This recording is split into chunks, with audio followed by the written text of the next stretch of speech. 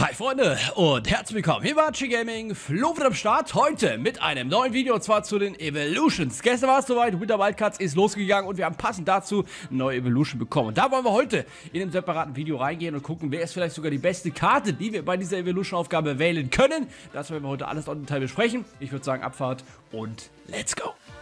My house, my house, take a trip to my Wenn ihr meine tägliche Arbeit und vor allen Dingen auch hier die Evolution-Videos unterstützen wollt, Freunde, nehmt euch kurz eine Sekunde Zeit. Daumen nach oben da lassen. Wenn ihr sonst passiv seid, seid gerne heute auch aktiv. Lasst einen Daumen nach oben da. Gerne auch dafür einen Algorithmus einen Kommentar. Und wenn ihr das noch nicht getan haben solltet, auf dem Weg Richtung 60.000 Abonnenten, Freunde. Ein paar fehlen noch für die 58.000. Lasst gerne auch kostenlos ein Abo da. Ähm, Wäre auf jeden Fall extrem nice. Und heute Abend natürlich geht es weiter mit dem 19 Uhr Content. Lasst uns reinstarten mit den Evos. Fels in der Brandung heißt es. Lasst uns loslegen. Let's go. Ja, bevor wir in die Evolution-Geschichte reingehen, will ich kurz vorweg sagen, ich bin gerade aktuell live bei Twitch. Also, falls ihr vorbeikommen wollt, Link ist unten in der Beschreibung. Äh, Bin ich einmal samstags von 12 Uhr bis 15.30 Uhr. Kommt gerne rum, würde mich extrem freuen. Und jetzt aber rein in die Evolution-Aufgabe. Fels in der Brandung heißt es und wir bekommen hier eine Winter Wildcard eben am Ende. Sie macht es zumindest grafisch eben dazu. Hier heißt es einfach nur unüberwindlich. Stärke, einen deiner Lieblingsprofis eben mit erhöhten Defensivwerten und dem Playstyle Kante. Also wir sehen hier schon die Defensivwerte, äh, die haben quasi hier ein Augenmerk auf das Ganze und den Playstyle Kante, was wir hier eben bekommen. Als Beispiel haben wir jetzt hier Torreira insgesamt, und das wird jetzt interessant, Freunde, haben wir folgende Voraussetzungen am Start. Maximal 80 Tempo, was die Karte mitbringen darf. Schießen maximal 75, Defensive maximal 80, Physis maximal 80 und Anzahl der Spielstile maximal 9. Außerdem Dribbling maximal 91 und das ist sehr, sehr interessant. Wieso? Dazu gleich mehr. Gehen wir kurz durch, was müssen wir machen? Erstmal vorweg, es ist natürlich eine Evolution-Geschichte, die for free ist, das heißt relativ easy zu machen und freischalten, also aktiv machen können wir sie eben 20 Tage lang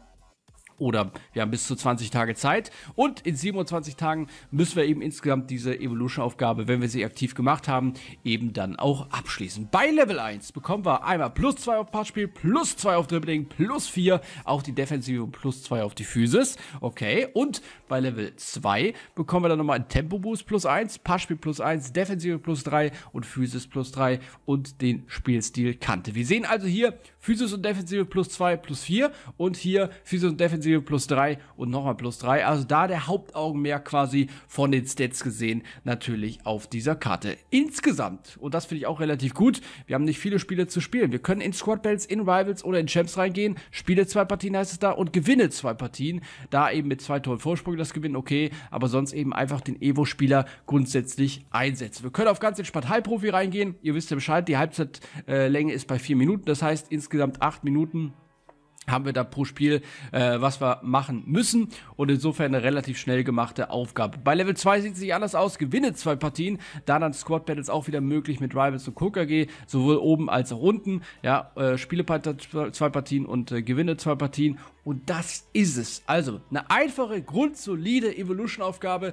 Das ist auf jeden Fall schon mal gut to know. Als Beispiel haben wir jetzt hier Torreira. Klar, wenn ihr Galatasaray-Fan wart, könnt ihr da definitiv drauf gehen. Und wenn wir jetzt mal hier bei einer, bei einer Road to Glory drauf schauen, wenn mir direkt vorgeschlagen wird, da sehen wir dann einen von, ja, wenn nicht sogar einen von den definitiv besten Puls. Und das ist Trent Alexander-Arnold. 86er gerated Base-Karte. Und ihr habt es eben bei Torreira als Beispiel gesehen. Plus 2 Overall-Upgrade bekommt der. Das heißt, wir können den auf eine 88 hoch pushen.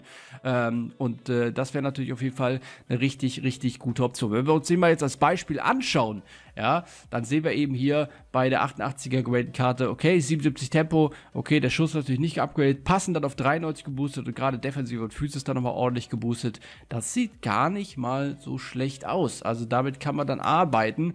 Rechtsverteidiger und guck mal die Passspiel, also Passstats unfassbar göttlich, ja. Und äh, Defensive und Physis auch richtig gut geboostet. Ausdauer vor allen Dingen auf 95, ja. Und dann könnt ihr natürlich auch quasi in-game auf der ZDM-Position zum Beispiel stellen. Äh, mit dem Passspiel sehr, sehr attraktiv. Hochmittelarbeitsraten, wie gesagt, äh, mit der Ausdauer. Die Spielziele sind dann am Start. Keine schlechte Wahl. Einer, der uns gestern auch schon direkt aufgefallen ist, war dieser gute Kollege Benacer. Der wird auf jeden Fall auch sehr, sehr nice sein. Den können wir uns auch mal beispielsweise anschauen. Der hat dann insgesamt 86er gerated Karte mit eben 4 Sternen, 3 Sternen, ZDM, ZM, ZOM die Position und auch eine sehr, sehr, sehr, sehr ausgeglichene Karte. Ich denke, ja, das führt quasi darauf hin, diese Evolution-Geschichte, dass wir halt in erster Linie eine Allrounder-Karte herstellen durch eben diese Evolution und äh, das werden wir uns jetzt alles on Detail anschauen. Gehen dafür erstmal rüber und zwar zu Football, wo wir gleich finalisiert, vor allen Dingen auch nochmal gucken auf diese Kombinationsmöglichkeiten. Aber anfangen will ich mit euch und zwar hier bei FootGG. Da heißt es Like a Rock. Das wollen wir uns on Detail anschauen, Freunde. Und da kurz vorweg, bevor wir reinstarten. Ihr könnt natürlich sehr, sehr gerne nicht mit dem Mainstream gehen, sondern eben mit euren Lieblingsvereinen. Äh, wenn ihr also KSC-Fan seid oder whatever, ist auch jetzt grundsätzlich egal, weil wir bleiben mal bei Galatasaray. Dann geht gerne mit einem Toreda, der ja auch sehr ausgeglichen aussieht. Die Karte, 84er graded Karte wäre es dann. Und ihr dürft eben auch nicht vergessen, die Frage bekomme ich auch x-mal äh, in die Kommentare bei Instagram immer wieder gestellt. Also ihr könnt natürlich dann die jeweilige Evolution-Geschichte, heißt Torera als Beispiel, wenn sie denn von den Voraussetzungen auch in andere Evolutions reinpasst, auch weiter upgraden mit einer weiteren Evolution. Ja, vielleicht eine, die noch kommt, vielleicht eine aktuell aktive und so weiter und so fort. Aber das werden wir jetzt alles besprechen. Fangen wir erstmal hier an. Wir haben auf jeden Fall sehr, sehr viele Optionen. Woran liegt es? Wir haben es eben bei Trent Alexander-Arnold schon gesehen und auch gestern schon teilweise besprochen. Wir haben keine Positionsvoraussetzungen. Das heißt, wir haben natürlich wirklich sehr, sehr, sehr, sehr viele Möglichkeiten. Wir sehen auch hier nochmal den Defensivboost plus 7 und eben Physis plus 5. Das ist natürlich, wie gesagt, das, was du eben dann auch, ja, wo du ein Augenmerk drauf legen willst, was du halt dann durch diese Evo-Geschichte mitnimmst. So, jetzt haben wir hier Wolf Players schon einige Kandidaten dabei und äh, wir haben auch witzigerweise als Nummer 1 ein Cowboy Libertadores äh, Guy rein. Da haben wir Budding, äh, Budding Star 1 und 2 und dann detailorientiert und dann Like a Rock. Und dann hat er eine 91er Grade Karte von 69 gekommen. Äh, ja, also das ist auf jeden Fall auch mal eine Hausnummer. Kann man mal machen. Die Frage ist, wie kriegt man ihn dann gelingt hier? Äh, die zweite Sache auch, argentinische Liga, Argentinier, 91er mit 99 Balance. Eieieiei, das fängt ja schon mal gut an. Crossing bei 99, aber da sieht man, keine Positionsbedingung am Start und du hast so viele Möglichkeiten. Guck mal, wir sehen hier so viel. 91er drei Stück, 90er geratet, ganz, ganz viele Kandidaten mit dabei. Aber ihr seht, Frauen sind mit dabei, teilweise auch weirde. Guck mal hier. Kaiserslautern-Fans. Könnt Zug nehmen, dann Budding Starlet 1 und 2, dann Mittelfeld Dynasty und dann Like a Rock. Dann habt ihr einfach eine 89er Kaiserslautern-Karte mit 99 Agility, 99 Balance. Das ist genau das, was ich eben thematisiert habe. Ihr könnt eben auch nicht mit dem Mainstream gehen, Stamina dabei 99 und dann einfach mal, das ist ein typischer Skispieler, ne? Kann LM auch Liga Außenverteidiger. Also hier, Kaiserslautern-Fans, Augen auf, äh, das wird sehr, sehr interessant. Und äh, ja, wir wollen aber jetzt ein Hauptaugenmerk natürlich auf die Hauptkandidaten legen. Und da kommen wir schon zum 88er Rating. Da hatten wir eben Trent Alexander-Arnold. Gehen wir weiter, wer uns direkt hier mal direkt auffällt. Es fällt auf jeden Fall auch hier auf wieder Libertadores, argentinische Liga, dass wir viele eben aus diesen komischen Ligen haben, wenn wir die denn so nennen wollen. Aber hier, wie gesagt, für mich eine von den Top-Kandidaten auf jeden Fall einmal hier ein Trent Alexander-Arnold, weil mit dem Shadow hat er dann auch ordentlich Pace und auf der anderen Seite halt auch ordentlich Def. 94 Def und dann mit dem Pass in dieser Kombination als Rechtsverteidiger, schräg, für mich dann eher ein ZDM, ZM-Karte, äh, auf jeden Fall ein definitiver Win. Und äh, auf der anderen Seite, wir könnten mal gerade drauf schauen, mit Encore vielleicht auch ein Rechtsverteidiger auf der anderen Seite. Ich sehe ihn dann eher als zentral. Gerade mit dem Pastet, den musst du irgendwie in die Zentrale packen, irgendwie als Mittelfeldspieler, äh, als Kreativspieler dann auf jeden Fall im Squad drin haben. Aber Liverpool werden, sich freuen. Ich sehe Petri, Forster, Forster, das auf jeden Fall natürlich auch eine gute Option, aufgrund der Links, die er natürlich dann mitbringt. Wir können direkt mal den Shadow draufpacken. Das sieht gut aus, auch als zentrale Karte mit dem Forster, Forster, mit den Dribbling-Stats, mit den Pass-Stats, die gut sind und dann diesem Defensiv- und Physis-Boost plus der einen oder anderen weiteren Boost. Der, äh, ja, das sieht gut aus. Der, der Spielstil, der dazu kommt, die Kante, sehr, sehr nice. Verratti haben wir als weitere Option. Den hatten wir auch schon mal. Tassen ab war das Ganze mit 77, 67 Tempo zumindest. Ähm, jetzt wird schwierig. Also ich sag mal so 58 Tempo. Das schön zu reden wird schwierig. Der Rest aber, da haben wir auch schon oft drüber gesprochen, mit Dribbling und Passen, sieht ganz okay aus. Aber mit dem Tempo, da weiß ich nicht. Ähm, würde ich tatsächlich ausklammern jetzt. Erstmal auch, wenn man sagt, okay, er bringt zumindest hier die Links mit. Ruben Neves mit Rare Defender Upgrade, theoretische Option. Tassen ab auch eine Option, ihnen 71 Pace zu geben. Hier aber ich nur 64. Ähm, also da kann man auch dann variieren natürlich die jeweiligen Evos. Was nimmt man als erstes, was nimmt man als zweites. Also das hier ist jetzt ein gutes Beispiel, wo man eben sieht, es macht auch mal Sinn zu schauen, okay, was packt man eben oder in welche Evolution-Geschichte geht man vielleicht vorher. Also dass, mir, dass man nicht direkt eben hier diese Base-Karte nimmt und dann upgradet, ja, sondern mal guckt, okay, wie kann ich den vielleicht wertemäßig noch ein bisschen besser machen. Und gerade bei so einer Karte mit 60 Base-Tempo, ja, willst du den vielleicht eher tempomäßig erstmal grundsätzlich boosten. Dann hat er halt 97 Pass-Stat. Das ist natürlich nicht erlaubt. Ne? 99 kurzer Pass, 99 Long Pause. Also da sind schon ein paar gute Stats dann mit dabei. Muss man halt fragen, kommt man dann mit dem Tempo zumindest klar. Aber auch hier wieder, man kann natürlich in der Hoffnung, dass irgendwann irgendwelche Voraussetzungen eben darauf passen, in der Evolution-Geschichte, auch dann diese 88er Grade-Karte eben weiter boosten und weiter upgraden. Aber wenn man da den Soul Link braucht, dann kann man natürlich gerne mitgehen. Bleiben wir bei den 88ern, gehen auf die nächste Seite und gucken, was uns hier noch so erwartet. Wieder eine Lewis-Karte. Diesmal mit diesen drei Kombinationen. 80 Base-Tempo hat er dann und sieht auch schon sehr ausgeglichen aus. Schöne Dribbling-Stats mit einem Shadow 88 Pace und 92, oh, und 92 Def. Ganz ehrlich.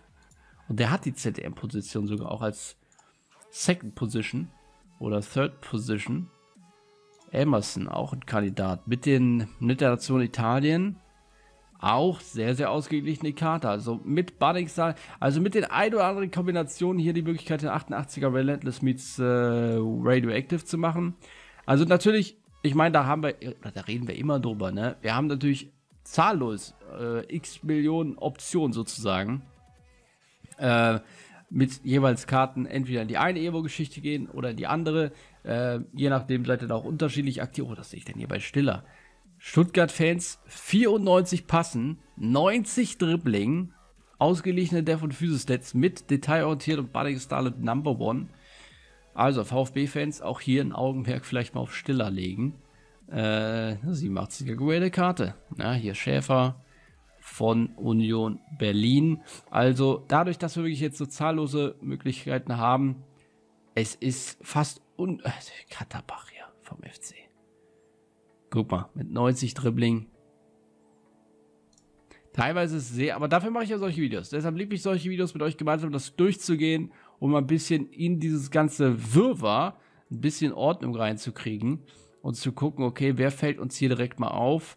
Gehen jetzt erstmal hier bei FootGG das Ganze durch, seitenmäßig und dann gleich natürlich auch nochmal bei äh, FootBin.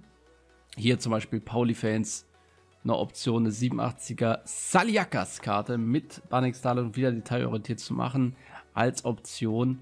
Äh, natürlich auch weitere Optionen, die man da machen kann. Bernard ist hier mit dabei. Ich glaube, wir haben hier einige 87er. Jetzt geht es in die 86er ein. Sehr, sehr viele Optionen und dadurch halt. Oh, und das ist Wahnsinn. Das ist Wahnsinn. Das ist Wahnsinn. Also so viele, guck mal hier wieder. Hier bei der Doris-Karten auch so viele unrelevante liegen und wo man dann auf einmal unspielbare Karten auf einmal spielbar macht, wie in Wiesbaden Kade hier dabei. FC Frauen sind mit dabei und so weiter. Erzgebirge Aue, Dannhof. Ähm, also das ist ja wirklich, das ist ja wirklich craziness. Also vielleicht können wir mal gerade einstellen, einfach mal liegenmäßig, Bundesliga, Apply Filter und dann sehen wir Schäfer, wir sehen Stiller, zweimal sogar Schäfer. Papea sehen wir hier mit Pass und Dribbling auf 92. Heilige Mutter Teresa mit 99 Utility, 99 Balance. Hör mir doch auf. Guckt mal, Freunde. Guckt euch das an. Guckt euch das an. Das ist doch nicht mehr erlaubt. Hier wieder. Borero von Mainz dabei. Grilic, Weigel. Dann geht es in die 95, 85er geraten Karten. Ja, okay. Äh, machen wir Reset-Filter und gehen mal in die Premier League. Und gucken da mal rein. Apply-Filter. Trade Alexander Arnold, Lewis auf jeden Fall. Emerson haben wir uns angeschaut. Chilwell, weiß ich nicht, vielleicht ein bisschen wenig Tempo. Auf der anderen Seite natürlich auch wieder eine ausgeglichene Karte. Also da werden sich die äh, Chelsea-Fans definitiv trotzdem freuen und vielleicht sogar dann reingehen in die jeweilige Evolution. Also 67, äh, 87er, 86er sind die am Start. Lewis als 86er Version auch am Start. Okay. Ein paar Kandidaten, aber jetzt keiner großartig, der herausragt. Erstmal machen wir ein Reset und gehen mal in die La Liga und schauen da mal rein. La Liga, ups, La Liga EA Sports, wie sie ja jetzt heißt. Apply Filter. Und sehen dann, hello, danke. Oh, Korea. Korea. Like a Rock mit detailorientiert. Was haben wir denn da für eine Karte? Wieder gut, also das fällt oft auf. Gute Pass- und Dribbling-Stats immer wieder dabei. Und dann leicht Dev und Physis geupgradet. Wieder ein Rechtsverteidiger, interessanterweise. Wie auch ein Außenverteidiger mit Manu Sanchez. Ja, sieht auch wieder ähnlich aus. Also die wichtigen Stats für einen Außenverteidiger, meiner Meinung nach, dann nicht hoch genug, um dann zu sagen, auf der Position will ich den vielleicht spielen. Auf der anderen Seite, wir gucken uns den gerade mal mit einem Shadow an. Ja, okay, 87 Tempo, 92 Def, aber dann ist die Physis halt komplett out of order. Weiß ich nicht, ob man damit gehen will, Schrägstrich möchte. Ähm, die Frage ist natürlich auch immer, was du für Links aufbauen willst. Äh, und wie gesagt, vielleicht auch hast du direkt einen Lieblingsverein. Filterst danach hier gerne mal auch nach euren Lieblingsvereins einfach filtern, gucken, wer ist vielleicht als Option da. Und da ist, bin ich mir sicher, dass mindestens eine Option gefühlt bei jedem Verein mit dabei ist. Äh, wir haben so viele Ligen jetzt ja hier als Option dabei. Also, ähm, oder Vereine im Allgemeinen. Das ist ja Wahnsinn. Das ist ja wirklich Wahnsinn. Also das ist ja wirklich crazy. Edoa, guck mal hier als Bronzekarte. Das ist, das ist, das ist typisch Evo. Das ist typisch Evo. Und das ist die Frage auch, wie viel ihr quasi dann wieder boosten wollt. Aber das ist ja wirklich verrückt. Das ist wirklich crazy. Lasst uns rübergehen zu Footbin und schauen, wie es hier aussieht. Also, die beliebten Evolutions. Fangen wir damit an und gehen mal auf Like, hallo, Like a Rock und gehen mal durch. Da haben wir Longstaff, 91er Grade Karte mit Welcome to mit Welcome to Evolutions. Tasten ab, detailorientiert, also auch hier ein langer Run. Und dann haben wir auch hier wieder gute Pass- und Dribbling-Stats. Äh, 94 Composure, 97 Pass mit 99 auf Short Pass und 99 auf Long. Und auf Vision auch noch 99. Heiliges. 99 damit hat er auch noch am Start. 95er ZM ist er so. Das ist ja unfassbar. Da dann Shadow drauf, Pace upgraden, Dev upgraden, dann hast du die Allrounder-Card am Start. Premier League, Newcastle Link. Oh mein Gott. Also hier aber auch wieder mit Kombination. Nicht von der Base-Karte, wie es jetzt bei Trent Alexander-Arnold ist. Das müssen wir auch immer quasi hier denken. Bei Harvey genauso. Da müssen wir vor ins Centurions Box-to-Box-Mittelfeldspieler mit dem gegangen sein, um eine 88er Graded Card zu generieren. Und auch hier zieht sich wieder durch. Dribbling und Passen ist da. Dev und Physis kann noch besser werden, könnte man upgraden. Suzuki wieder dabei. Der war oft mit dabei als Bronzekarte. Und das ist auf jeden Fall, oh mein Gott, wir konnten, wir konnten jetzt zuletzt zur 91 machen, jetzt zur 93er Grading-Karte. Composure war bei ihm los, stimmt. Und der Rest ist ja unfassbar. 99 Interceptions, 99 Balance, 99 Stamina, was uns da anlacht, 99 Crossing. Zwei Sterne, drei Sterne, zwei immer noch. Koreanische Liga. Ja, das ist ja Wahnsinn. Bentancur, welche Kombination hast du am Start? Mit Tassen ab, ein bisschen Pace Boost auf 81 dann am Ende. Sehr ausgeglichene Karte, um ehrlich zu sein. Das ist das, was ich meinte. Eine Allrounder-Mittelfeldkarte. Darum geht es, glaube ich, am Ende des Tages eben so eine zu generieren. Petri, Trent Alexander-Arnold haben wir besprochen. Kamavinga auch mit dabei. Als Base-Karte. Sehr, sehr interessante Option. Auch da wieder die Real Madrid, Frankreich links aufzubauen, wenn man denn dann möchte und nicht auch anders mit Kamavinga vielleicht schon geboostet ist. Klar, man kann auch einen 90er Longstaff machen, wenn man dann eben gewisse andere Evolutions natürlich außen vor lässt. Das immer als zweite Option. Dann haben wir Benacer auch hier mit dabei, auch sehr beliebt. Äh, den würde ich auf jeden Fall auch auf dem Zettel haben, weil man eben dann ihn jetzt von der Base-Karte auf eine 86 boosten kann. Eine sehr Allrounder-mäßige Karte am Start hat und auf der anderen Seite, und das darf man wie gesagt nie vergessen, auch noch weiter upgraden kann, wenn denn dann eine neue Evo kommt. Kurke auch immer mitgefühlt dabei, wenn es so Allrounder-Mittelfeldspieler mitgeht. 96 passen mit Tassen ab und vor allen Dingen wichtig bei ihm der Tempo-Boost dadurch natürlich. Also das ist dann wirklich eine spielbare Karte. Durch den Tempo-Boost muss man auch ehrlich sein, wie es ist. Alter Sari mit dabei.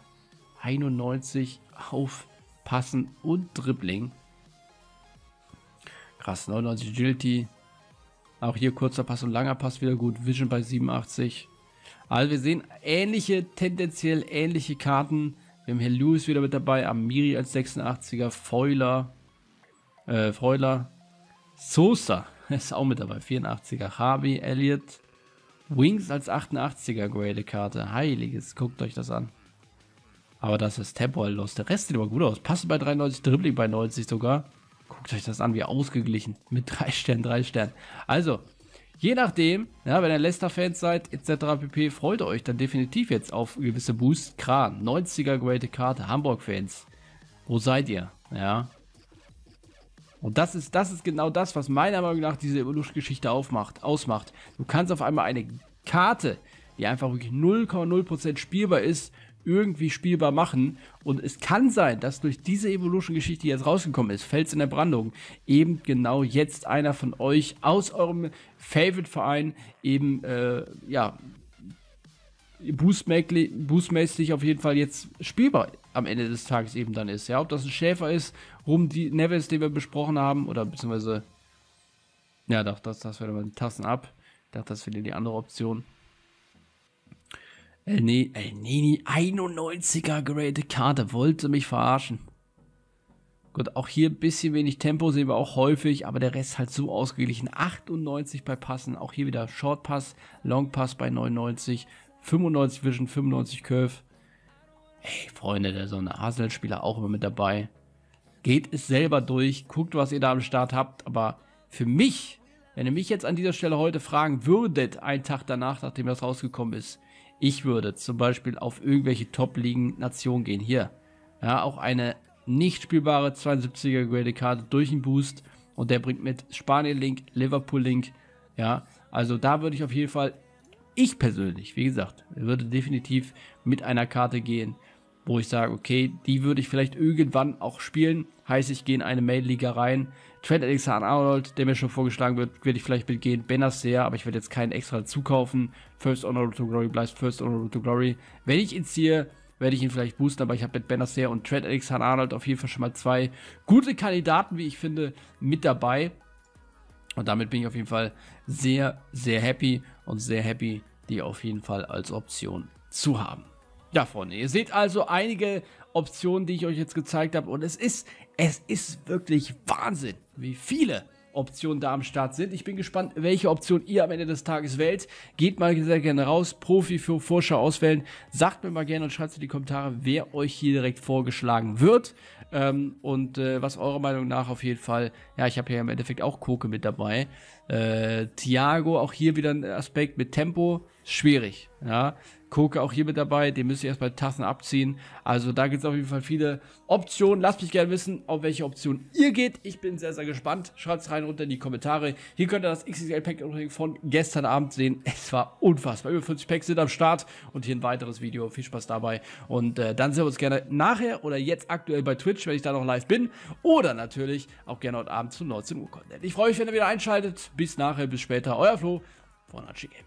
Ciao, Leute.